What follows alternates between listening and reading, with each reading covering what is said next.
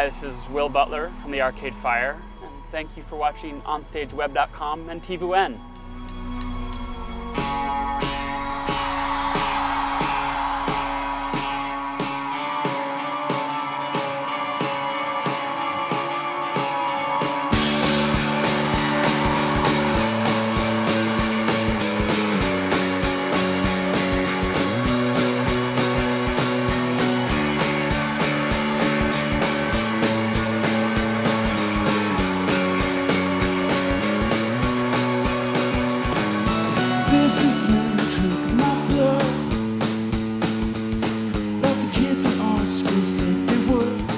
We've always tried to do the same thing with every with every album, and for us, it I find it's always been more about songs. It's about trying to make really great songs and trying to fully realize the songs and produce them and and make them make the music fully support the words and and really focusing on that aspect and then taking a larger look once that's set.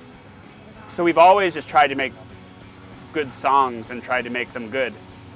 Uh, and this, I felt like maybe we we completed that process a little more. Not necessarily that the songs are better or worse or the album is better or worse, but I think we more fully realized it this time, just in terms of technical expertise and patience and money, things like that. Uh, so I think this is a maybe a more complete final piece than the other albums. But I, I think, I hope that we still have some gas in the tank.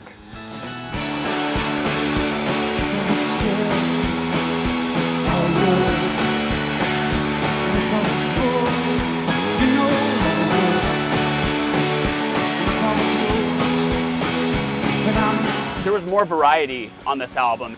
Because on Neon Bible, we mostly did it in the studio we bought in this church, about 40 minutes from Montreal. And on this album, we did some songs there, but we did some songs in Win's house. We did some songs more in the studio, like there was a little studio, or people took stuff home and worked on it at home, or pieces of it at home. So there was a greater breadth of experience, but I think it contained similar things to what we had done on Neon Bible. It was kind of a bit more of a return to how we worked on Funeral, where we did stuff in Win's apartment and did stuff at the studio. Um, so it was a little more hodgepodge this time. Win is really the songwriter chiefly, or Win and Regine. Sometimes he'll come with a song that's basically done, and we'll kind of potchy it together. Sometimes we'll we'll create something together, like as a band, we'll all be playing and something will form, or a piece of something will form, and then we'll smash on another piece we had. Um, and sometimes Win will come with something completely formed, and we'll take it and turn it 70 degrees in a different direction. It's kind of whoever whoever is most passionate about the song tends to direct it more, tends to determine the energy of it more. So like a song like Sprawl 2, which is Regine's song, Win was really passionate about it, and I was really passionate about some of the songs. So on the realization of it, it's maybe more me and Win and less Tim. But on a different song, or a song like Modern Man, was really completely cohesive and coherent and natural, and we played it, and it all felt like a complete product from the beginning. Or there's some songs that Richard will really go to town on. So it's pretty song by song.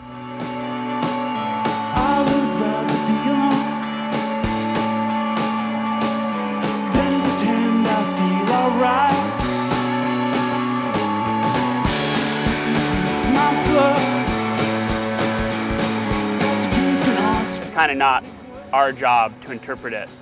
It's our job to, to produce it and to make the art. If people see that as a, a metaphor or something, I, I think that's a perfectly valid interpretation. All right, let's go. One, two, three, four.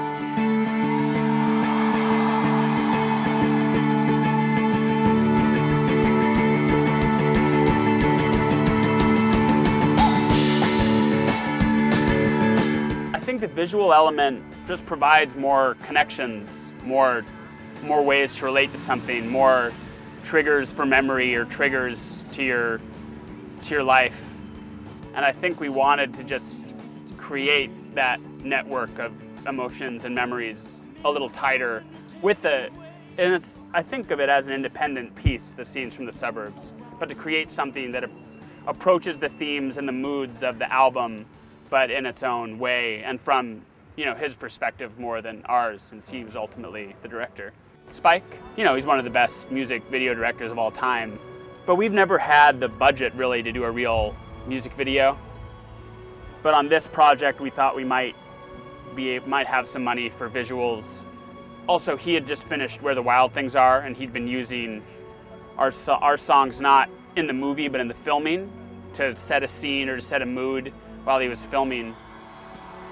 But that had finished, and that took him like seven years. So he was kind of looking to cleanse his palate with shorter, weirder projects.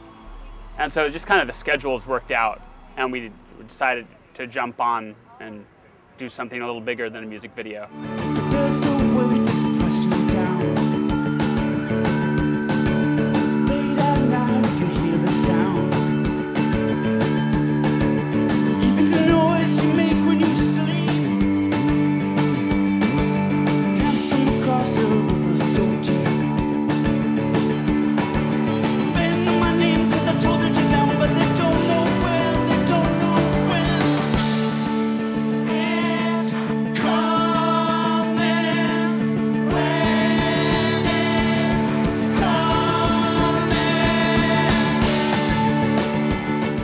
Have a very low level of success without the internet. Like we wouldn't we wouldn't be where we are if originally people hadn't passed funeral around from friend friend to friend and all that. So we certainly lose a fair bit of money to the internet now, but it's also like, you know, it's the mother that gave us birth, so how, how can you hate it? How can you hate your mother?